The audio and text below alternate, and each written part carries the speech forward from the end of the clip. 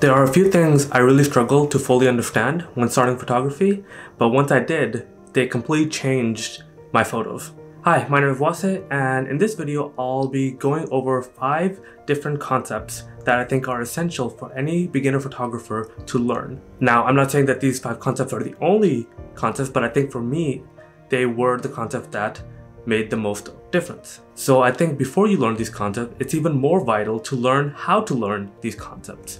And I recently made a video about that exactly. I'll put a link about that somewhere above. And there I talk about how to effectively use different learning concepts to ensure that you are able to get the photo that you want when you want it and be able to apply all the things you learn in the field. So concept number one, the exposure triangle. And this goes without saying, but no concept photography video would be complete without the exposure triangle. By itself, the exposure triangle seems good in theory, but the real power in understanding it comes when you're able to realize that all the different things, the ISO, aperture, and shutter speed affect every other part of your photo. So whether it's your ability to actually edit it, whether it's your ability to get it all in focus, and whether it's able to create the story that you want to tell out of your photo, right? So the biggest challenge is trying to translate that into muscle memory, right? Because you don't want to go out into the field and have to actively retrieve that information, right? You want to be able to seamlessly work with the camera and change those settings depending on what you want your photo to look like. Concept number two is focus and depth of field. And the reason that these two are placed together is because they relate well with each other and I think learning them together makes sense. So I think about focus in this way, basically that it is the ability to get to a maximum sharpness with your current camera, lens, settings, etc. Depth of field on the other hand deals with the idea of how much of the scene of the photo you're able to get into sharpness. So shallow depth of field means a very low portion of the entire scene will be sharp. Larger depth of field means everything is sharp and depending on what you actually want to do, you might want one or the other. Portraits, a lot of times, usually the person is fully sharp, but everything around them is blurry. Uh, for landscape photography, you might want everything to be in focus. So how do you actually do that? How do you change the depth of field, the focus? Well, you change the depth of field by controlling the aperture. The wider the aperture, the shallower the depth of field. But you have to realize that there are drawbacks to everything, right? So let's say you want a very large depth of field, and this means you want everything in focus.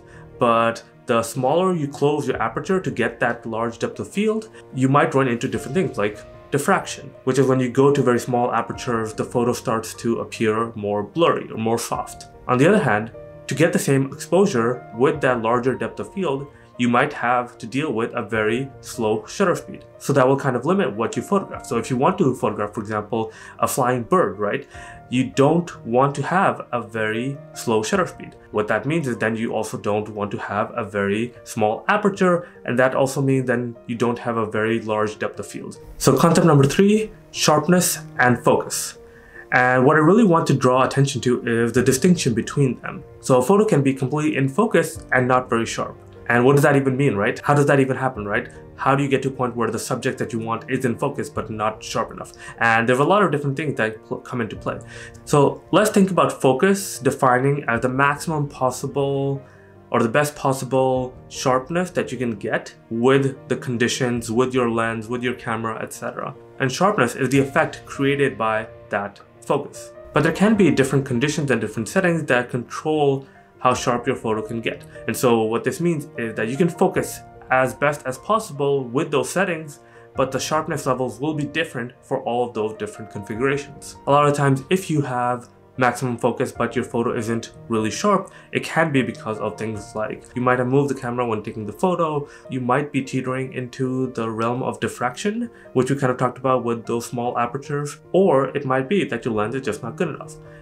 But I don't really want to focus on the gear. I think you want to be able to get the best possible photo with the gear that you have.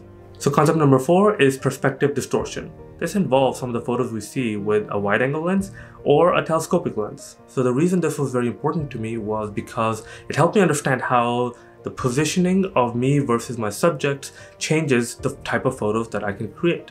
So let's get this straight though. The lens itself doesn't have anything to do with the distortion. It's more about our positioning of the camera relative to the subject itself that changes how that subject appears. Wide angle lens don't actually cause that distortion where we see the foreground kind of blown up. It's the fact that we're able to get very close to the actual subject. Similarly, using a telescopic lens doesn't actually cause compression. It's the fact that we are located much further away and when we zoom in or crop in to a specific point, we get that compressed feel. Concept number five is how sensor sizes, focal lengths, and lenses relate to one another. So I have a crop sensor camera, but a lot of times most of the YouTubers that I watch or the people that I go to for advice have full frame sensors. So what this means is that every time they do give advice that relates to one of those three things, I have to then translate it back into what it would mean for me to create something similar. When trying to buy a lens, for example, I needed to think about, okay, will a full frame lens work on my crop sensor camera? Will a crop sensor lens work on my crop sensor camera? And if I decide to upgrade to a full frame camera, what happens with that crop sensor lens? And how does focal length fit into all of this? So what does 16mm on a crop sensor lens look like versus 16mm on a full frame lens? So the first thing that I learned was that focal length is actually a feature of the lens and not the camera or the sensor size itself.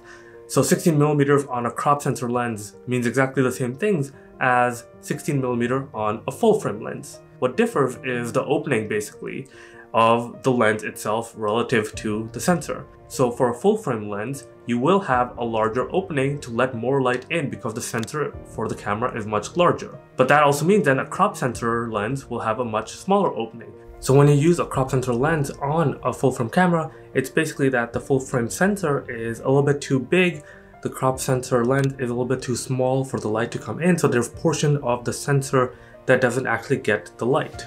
So when people compare sensors, they compare crop ratios. Basically, how much larger is one sensor relative to another? And this kind of impacts the focal length that you actually use.